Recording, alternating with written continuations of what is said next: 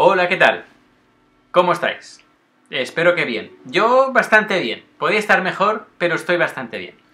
Antes de todo me gustaría saludar a mis padres, que sé que me están viendo, y a toda la gente que me está viendo y está aconsejando estos vídeos, el blog y todo. Muchas gracias. También me gustaría saludar a Gustav. Hola, Gustav. hey, hey. Eh, bueno, vamos a por partes. Primero de todo, me gustaría enseñaros que tengo, bueno ya lo visteis antes, tengo mi iPad con una fundita muy mona.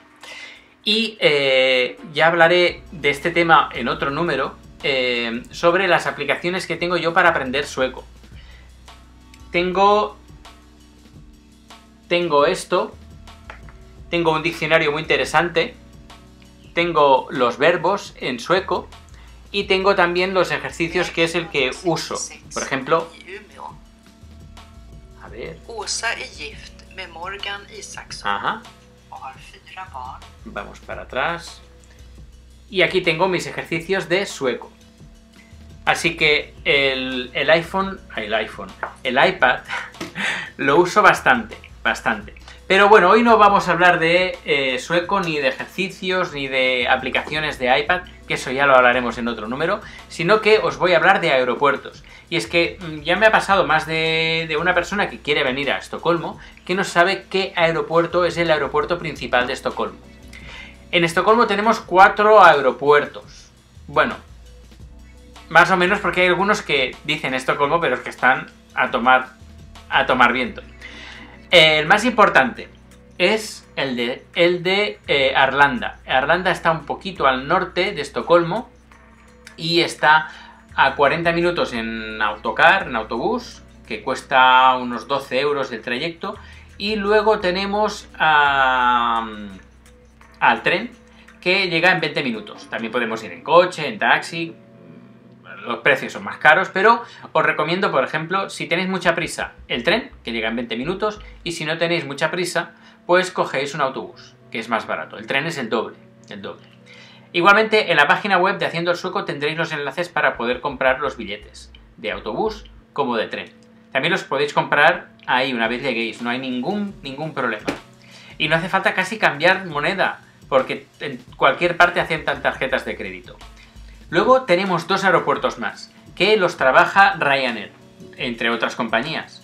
El más importante, el que tiene más vuelos, es el de Skavska, que está al sur, a unos 80-90 minutos del centro de Estocolmo. Hay un autocar que hace un trayecto, es más caro que el trayecto que hace a Arlanda, pero eh, los vuelos se pueden encontrar más baratos a través de Ryanair.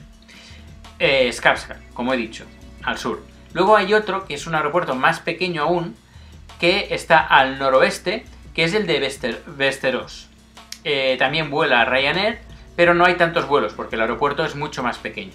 Y luego tenemos otro aeropuerto que, mm, que yo sepa no hay ningún vuelo desde España que vuele a este aeropuerto, que podríamos decir que es el que está más cerca. El que está más cerca de Estocolmo, que se puede llegar en, metro, pero como es un, aeropuerto que está metido en la ciudad, pues ahí los vuelos son eh, de aviones más bien pequeños y son vuelos nacionales y a nivel internacional como mucho se van a Noruega, Finlandia, Dinamarca, entre otros países que quedan cerca.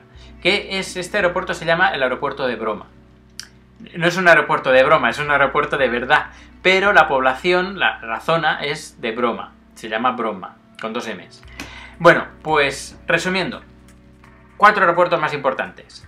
El más importante es Arlanda, luego le sigue Skavska y Vesteros. Y el último, el más pequeño, podríamos decir, que el que queda en el centro, pero que no hay vuelos internacionales, o al menos a España, es el de Broma. Pero bueno, ya lo tenéis, los cuatro aeropuertos más importantes.